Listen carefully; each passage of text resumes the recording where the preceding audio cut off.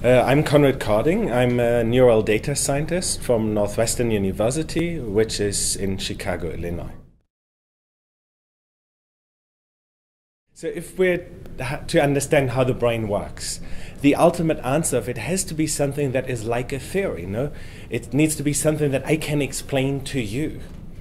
And therefore, what we need is a way of taking all the data that we get in in neuroscience and converting it into something that's communicable and something that allows us to really understand what's going on. And that's not possible without theory. So I think right at the moment it's very important to develop new data analysis techniques.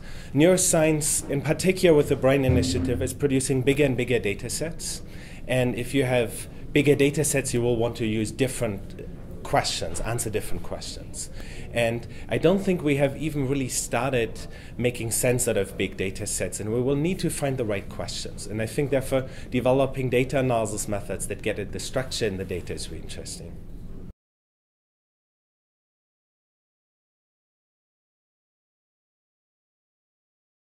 So, so, so it's hard to say. We're just at the beginning of that strong and tighter collaboration between computation theory and neuro, uh, and experimental neuroscience.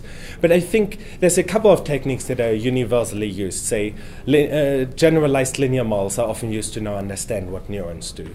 You have models of networks of neuronal interactions that are being fed to the data, and you have the multivariate data analysis techniques that say the field in fMRI uses. So all these fields we need those data analysis techniques to make progress already today. And in the future, we will need to go towards much more complicated models. All right, so final question. What do we need to bring the theorist and experimentalist together? Uh, the answer is very clear free beer. thank you, thank you.